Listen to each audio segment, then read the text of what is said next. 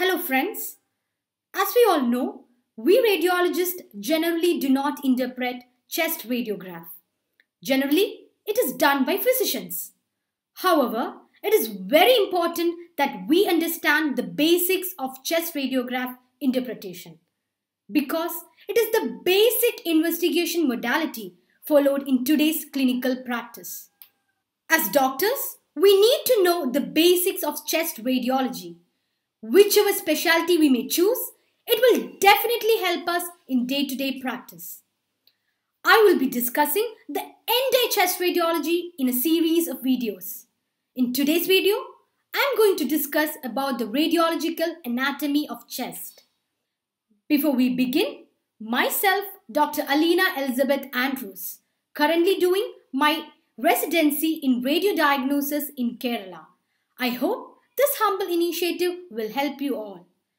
So before moving further, let us outline the topics I'll be discussing in this video. As part of the anatomy of chest, I'll be dealing with the lung fields, hilum, airways, mediastinum, diaphragm, bony cage, extrathoracic soft tissues, fissures, and finally on the zones. I will also be highlighting few aspects on how to look at them from the radiologist point of view. So friends, let's begin. First, I'll be talking about the lung fields. Regarding the lung, lung fields, I'll be telling about the laterality as well as vascularity. Let's look at them one by one. As you can see, the black area, which is also referred to as the radiolucent area, represents the lung field. As soon as you get a film, you have to assign the side. That is, which one is right and which is left. Most often, it will be represented in one of the corners. As in this figure, it is seen in the left upper corner. Always remember, the right side of the patient is on your left side, whereas the left side of the patient will be on the right side. Confirm the laterality based on what is given in the radiograph and always remember never assume the side based on the apex of the heart or by looking at the gas shadow of the stomach. You may often end up getting wrong. Now let's move on to the second aspect to assess in the lung field which is the vascularity. In the given image, you can see radiodense lines radiating from the center to the periphery. These dense lines represent the pulmonary vasculature along with the connective tissue septa. If you observe the pattern clearly, you can see they becomes fine and thinner as they go towards the peripheral one-third of lung. This is normal. Another pattern that you have to observe carefully is the way these lines vary from top to bottom. Look carefully and you can see that the lines increase in number as well as size as you move from top to bottom. This is normal. So these two patterns you have to keep in mind. Thus, we have finished the lung fields. Now, we'll move over to the hilum. In the hilum, we'll be discussing about the level, the density and the shape. First and foremost question, what is hilum? What is hilum made of? I'm marking out in the figure. Observe these two lines. The upper one represents the superior pulmonary vein and the lower one represents the descending pulmonary artery. These two join and form an acute angle. This angle, this junction is called as hilar point. So the hilum is formed by the junction of these two vessels anatomically and that's what you look for in the radiological image of chest, especially in the x-ray. Now we'll move over to each aspects in defining the hilum. Firstly, the level. As clearly marked out in the diagram, you can see the two arrows. What is striking? There is a high difference between the right and left side, right? This is normal. That is, in 97% of cases, the left hilum is higher than right. So, to put it in other words, the left hilum is almost always higher than the right or at most it can be at the same level as right, but never below the right. Keep this point in mind because one of the aspects in assessing the hilum is looking for the level.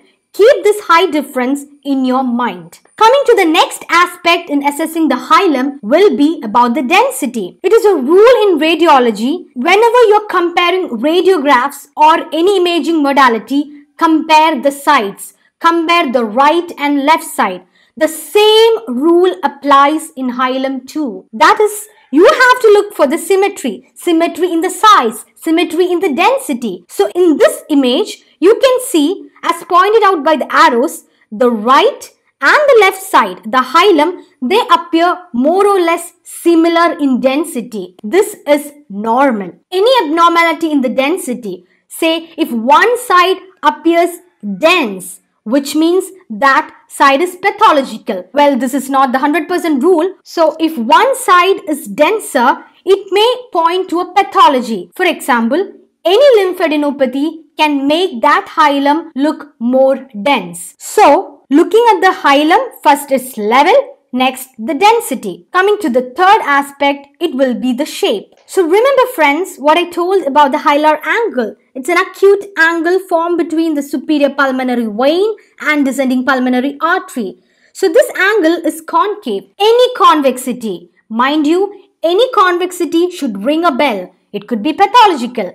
So any convexity may be due to abnormality in the vessels in the hilum, maybe an aneurysm, maybe a dilated vessel, or it could be any added structure there. For example, a lymphadenopathy. So all this will impart convex shape to the hilum. So I hope that much is clear. So we have finished the lung fields and the hilum. Now let's move over to the airways. So in the figure, I'm marking out the trachea. As you can see, the radiolucent shadow through the dense structure in the middle. Yes, you trace it down, you see the right bronchus and you trace it down, you see the left bronchus. So if you review what you've learned in anatomy, the right bronchus is in continuity with the trachea, right? The same thing can be observed in the radiograph too. And this is one of the reasons why foreign body lodges more often in the right bronchus or preferentially to the right bronchus or in our clinical routine practices whenever you try to intubate a patient if it is the technique is not correct or say accidentally more likely that you intubate the right bronchus right? So this is the clinical significance of knowing that the right bronchus is more or less in continuity with the trachea. So these are the two major airways that you can easily see in the radiograph. Now, another important point that you have to know when you think about airways is the carina. Carina is the angle formed between the right and the left bronchus. So remember, the clinical significance is that the angle formed at the carina. It is usually acute or let's say it is in the range of 60 to 70 degrees. Why is it significant? Any pathology affecting the mediastinum, uh, we'll come to mediastinum later, will cause abnormality in the carinal angle. To cite clinical examples would be the carina will appear widened in case of mediastinal lymphadenopathy. To be specific, subcarinal lymph node enlargement. Another important cause of widened subcarinal angle is the left atrial enlargement. So this is one of the favorite questions of examiners, especially in the MBBS level for the medicine exams. The cause of left atrial enlargement. The first cause that comes up top on the list would be mitral stenosis. So, one important aspect in diagnosis MS, mitral stenosis in radiograph would be by looking for the left atrial enlargement which can be seen in one of the ways as widened subcarinal angle. So far, we have covered the lung fields, the hilum, the airways. Now going to the next topic which is mediastinum. So the dense structure, the radiodense white structure that you see in the center of the radiograph, that is the mediastinum. It encompasses the airways, the major airways like trachea, the bronchi, we've already discussed that, and also the heart as you can see here, the great vessels, this would be the aorta and this would be the pulmonary artery. So let's mark out the borders. As you can see, the right heart border is formed by the right atrium below and the superior vena cava above. Clear? Whereas in the left side, it is mainly formed by the left ventricle. The upper part is formed by the left atrium and still higher up, this prominent knob-like thing which is known as the aortic knuckle or the aortic knob. And in between, you can see in a structure like this, right? Which is the pulmonary artery. So, to summarize, the right heart border is formed by the right atria and the superior vena cava, whereas the left heart border from bottom to top is formed by the left ventricle, then part of left atrium, the pulmonary artery, also referred to as the pulmonary bay, and further up, the aortic knuckle. I hope that's clear. So, so far we have finished the lung fields, the hilum, the airways, the mediastinum. Now going over to the diaphragm. In the diaphragm, you can see as in the shown in the figure, this is the right hemidiaphragm, this is the left hemidiaphragm. So what is striking in this? Yes, of course, it is the height difference. Again, remember, similar height difference was also applicable for the hilum. So, in comparing the diaphragm, you can see that the left diaphragm is at a lower level than the right. Why? This is because the heart is pushing down the diaphragm. So, the left diaphragm is at a lower level than the right. So, a question that naturally comes up is up to what level this is normal. So, up to about 3 centimeters, the height difference between the right and left with the left diaphragm being lower can be taken as normal. Now another important aspect in assessing the diaphragm is that it gives us clue regarding the lung volume or regarding the inspiratory status of the film. We all know that the X-ray is taken in adequate good inspiration. Why do we need to take the film in inspiratory mode will be discussed in the coming lectures. To assess the same, all you need to do is count the ribs. As you can see in the film, the obliquely oriented ones are the anterior ribs and the relatively more horizontally oriented ones are the posterior ribs. So, by the rule, an adequately inspired film should have its sixth anterior rib and around ninth to tenth posterior rib cutting the dome of the diaphragm. So I repeat, an adequately inspired film should have the sixth anterior rib and the tenth posterior rib cutting the dome of the diaphragm. Speaking of diaphragm, I'd like to introduce you to another important aspect that which you need to assess in chest radiograph, which is the costophrenic angle. So as I'm marking it out here, the sharp acute angle is formed by the contact of the pleura with the diaphragm is known as the costophrenic angle and this should be acute and sharp. Any blunting, I repeat, any blunting signifies pathology. It could be due to pleural thickening or it could be due to pleural effusion. Next, let's discuss about bones. As it is evident from the film, the lungs and the mediastinums are enclosed in a bony thoracic cage. So you can see the horizontal clavicles here, the scapula here, you can see that the scapula is partly obliterating the lung fields in this frontal PA view. Other bones forming are the ribs that we have already discussed. So remember friends, the anterior ribs are more obliquely oriented and posterior ribs are more horizontally oriented. And also never forget to look through the mediastinum and look through the mediastinum and see the vertebra. So you can see this is the vertebral body and further up, if you look carefully, these structures, these are the spinous processes of vertebra. So whatever possible, look through the mediastinum, the dense shadow to see if it is able, so what, whenever possible, look through the dense white structures of mediastinum and try to take a look at the bones, that is, and try to take a look at the vertebra. This prompts me to just mention about an anatomical variant. So in the image you can see this is the clavicle. If you look carefully paralleling the superior border of the clavicle you get another dense structure marked in arrows. What are they?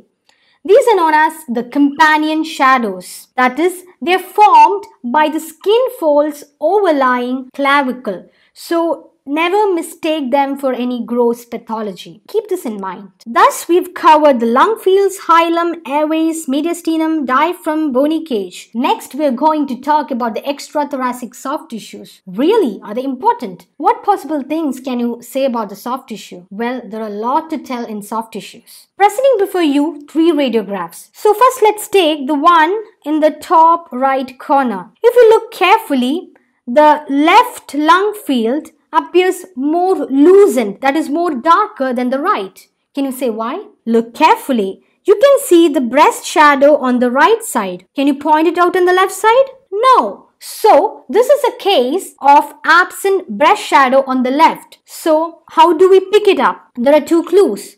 First and foremost, as soon as you get the radiograph, when you look at it, you feel that the left lung appears more lucent. Another way is that you have to look for symmetry. Again, as I said, symmetry is a rule. You see that there is an added density corresponding to the breast contour on the right side. Can you make it out on the left side? No. So, there is absence of breast on the left side. Now, let's take the image on the left corner. Can you make out anything abnormal in that? Well, if you look carefully, on the left side, this lung appears slightly lucent as compared to the right. That is slightly darker as compared to the right. I've provided a clue in the form of an arrow here. Let's see. This is the clinical radiograph of the patient. As you can see in the figure A, on the left side, the chest wall appears thinner or let's say it is lacking something as compared to the right side. So this is a case of absent pectoralis muscle. An important clinical clue from the figure A would be obviously less dense soft tissue on the anterior aspect of the left side of chest. At the same time, you can see the prominent horizontal axillary fold. The same thing you can make it out in the radiograph. See, the lung is more lucent because the chest wall is lacking the normal soft tissue as compared to the right. Compare, compare, compare. Along with that, you can see the horizontal axillary fold. So this is a case of Poland syndrome. Finally, we are going to the next topic which is about the fissures. We all know that the right lung has two fissures, the major and the minor, whereas the left lung has only a single fissure, which is the major fissure. So a question gradually arises. Can you see the fissure? If yes, which all? So in a frontal radiograph, you can see only the minor fissure. So look on the right side as outlined in the arrow, this horizontal dense line radiating from the center, radiating from the hilum to the periphery towards the axilla. This is the side of the minor fissure. So in a frontal radiograph, you can visualize only the minor fissure. So before concluding, I feel the need to talk on zones of lung. Here is the chest radiograph. Why do you need to divide the lung into various zones? This is for the purpose of localization to communicate regarding where the pathology is situated. For example, I have a lesion here. How do I describe it? For this, the lungs have been divided into zone, the upper, mid and the lower. These are demarcated by the ribs. So, the upper zone is limited by the lower border of the anterior rib. So, here you can see the anterior rib obliquely the upper border is limited by the lower border of the anterior rib and the middle zone is between the second to fourth ribs. That is the lower border of the anterior second and fourth rib whereas the lower zone is below that. Friends, now let us summarize what we have seen in this video. We have seen about the major parts of the chest radiograph, the lung field, the hilum, the airways, etc. I have discussed about the major aspects we need to focus in each of the above parts. I have also discussed about the importance of symmetry in reading chest radiograph. I have also briefed about the do's and don'ts to be followed. I hope the video was useful for each one of us. With the coming set of videos, I am hopeful to take you through the art of interpreting radiological modalities. With this note, let me thank to my viewers. Thank you everyone.